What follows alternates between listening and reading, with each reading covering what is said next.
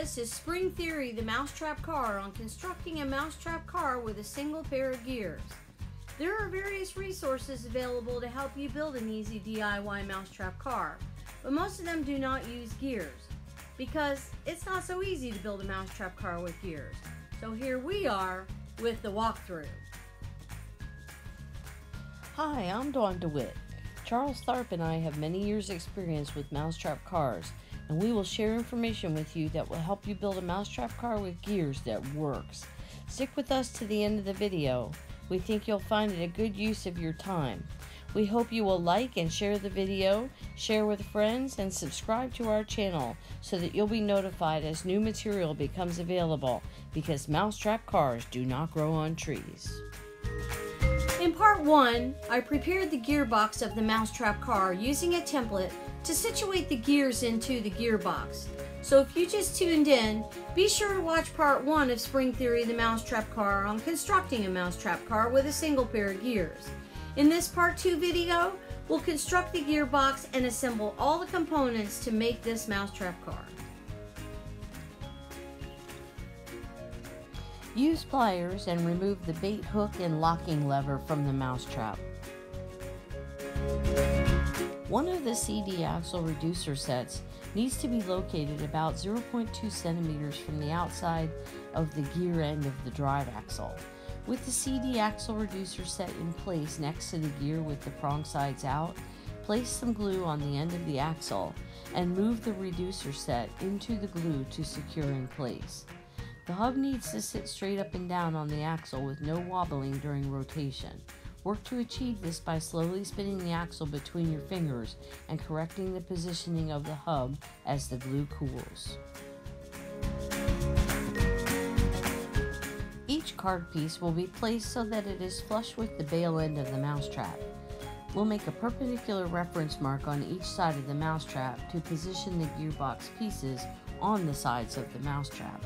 Therefore, the rear end of the gearbox will be about 1.2 centimeters from the V end of the mousetrap.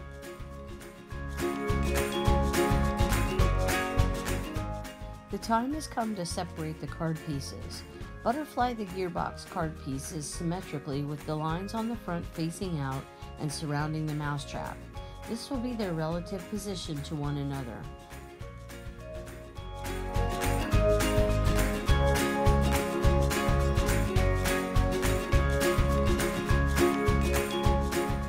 Align the uncut edges of the card pieces with the top edge of the mousetrap and the reference lines that are drawn on the edge of the mousetrap.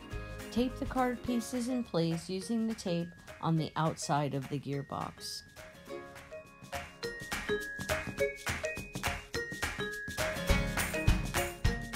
Place the axles with the gears on them through the proper holes in the gearbox to help with alignment.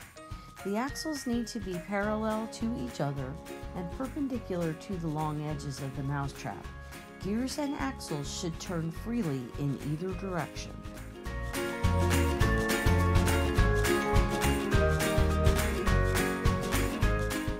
Using small drops of glue, glue one side of the gearbox onto the mousetrap, placing glue at each end and the center of the card piece so that it touches the card piece and the mousetrap. Check for proper alignment of card pieces and axles. Glue the second card piece onto the mousetrap using three drops of hot glue on the inside. Allow the glue to cool before removing the tape.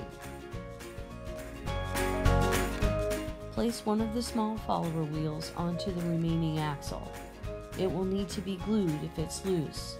Place a small amount of glue on the outside edge of the wheel axle and move the wheel into the glue. Insert the axle through the front axle holes in the gearbox and glue the second follower wheel onto the axle. The wheels should be close to the gearbox, but not so snug that the wheels can't spin freely. Next, assemble the components of each gear axle by placing a washer immediately behind the gear, then insert the axle through one side of the gearbox only. Then, place a second washer on the axle immediately behind the card piece. Next, place the keeper, a piece of airline tubing, on the axle next to the second washer. Then insert the other end of the axle through the proper hole in the other side of the gearbox and slide the keeper into place. Make it close but not too snug. The axle should turn freely. You will need to use your fingernail to push that tubing along the axle. For the large drive gear axle, the same process. Install a washer on the axle behind the gear, insert the axle through one side of the gearbox only, then place a second washer on the axle immediately behind the card piece. Next, place the keeper on the axle. You will need to use your fingernail to move that tubing down the axle. Insert the axle through the other side of the gearbox and snug the keeper and washer up. Not too tight, the axle needs to turn freely. Install the small plastic tie wrap onto the large gear axle, about 1 centimeter off center. Snug it down onto the axle so that it does not slip. Trim the tail off to a stub. Use a small amount of glue to secure in place.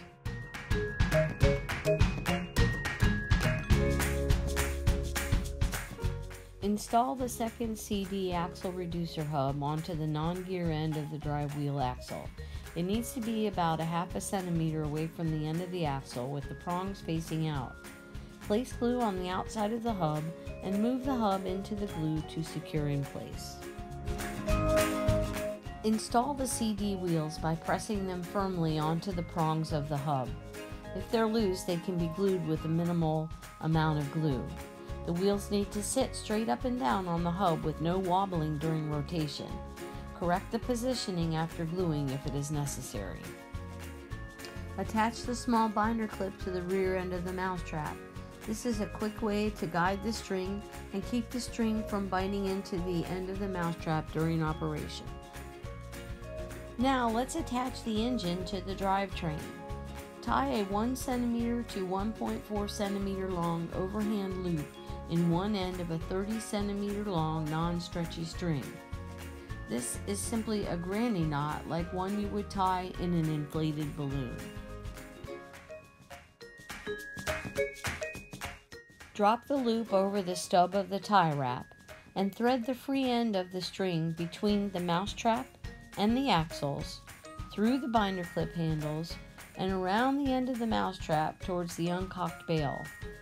Tie the string around the bail with an adjustable knot known as a taut line hitch. Make sure the string is just long enough to reach from the bail to the stub of the tie wrap. Too long and the car will back up once it's unwrapped all the string.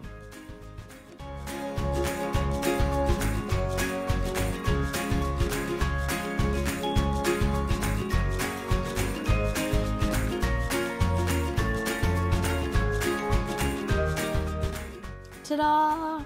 Mousetrap car with gears. I hope you like this video and share with your friends. If you have not yet subscribed to our channel, what are you waiting for? Be sure to watch the video on how to operate a mousetrap car. Until next time, because mousetrap cars do not grow on trees.